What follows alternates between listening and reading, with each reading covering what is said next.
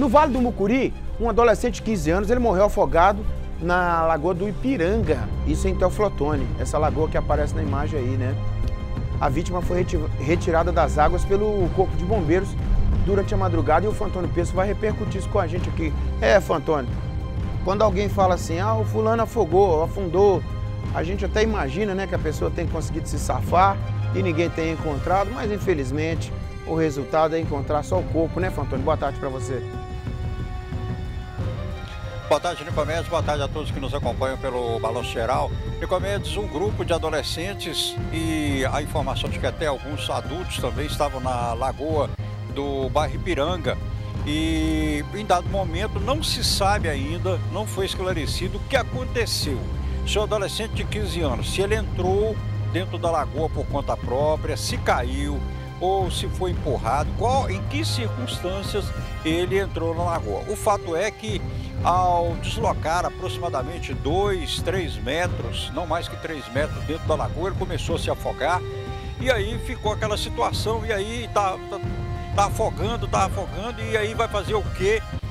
Quando ele afundou na água, aí um dos, um, dos amigos dele tentou fazer buscas e infelizmente não conseguiu. O Corpo de Bombeiros foi acionado e somente na madrugada de hoje, por volta lá de duas horas da manhã, Vitor? Ô Vitor, foi por volta de duas da manhã que conseguiram tirar o corpo? É, aproximadamente, segundo o Vitor aqui, por volta de duas da manhã, que conseguiram tirar o corpo desse adolescente de 15 anos, já passou pelo IML, já foi liberado para a cerimônia de velório e sepultamento. E aí o Corpo de Bombeiros recebeu informação de que esse adolescente de comércio não sabia nadar e não se sabe o que aconteceu, como é que estava o estado de saúde dele, a condição física dele, se ele tinha é, ingerido algum líquido, se ele tinha ingerido algum alimento. Tudo isso vai ser alvo da investigação que vai ser feita pela Polícia Civil, mas basicamente o comando do Corpo de Bombeiros pede. Por que, que esses adolescentes estavam indo comédia? Só para acrescentar.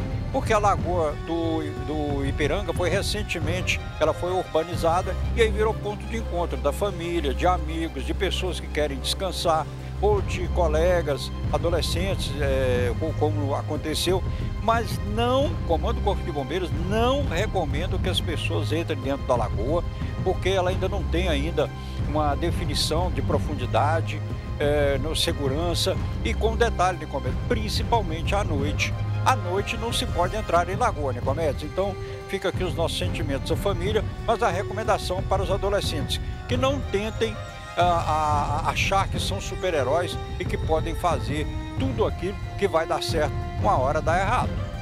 É, infelizmente, né, Fantoni? Fantoni, rapidamente, é qual a localização exata dessa lagoa aí, bairro? Ah, essa aqui, ao fundo, dessa aí aqui um pouquinho, o Vitor, ah, é, o Vitor vai fazer uma pan aqui pra gente. Essa é a lagoa do bairro Laerte Laender, também conhecida como Lagoa do Marajoara. Então, nós estamos aqui por conta de um outro vivo que a gente vai fazer daqui a pouco. É uma das dos cartões postais de Teoflotone. Ela foi também é, reformada pela prefeitura e é um ponto para que as pessoas possam é, descansar, é um ponto de encontro, é um ponto de beleza, é um cartão postal de Teoflotone. Mas essa FII é conhecida como, como é que é?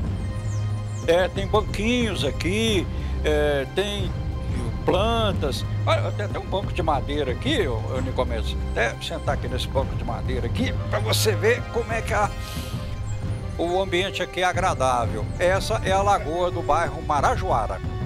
É, Fantônio, você dá uma apertada nessa academia, que na hora que você sentou aí, você deu uma gemida, viu, menino?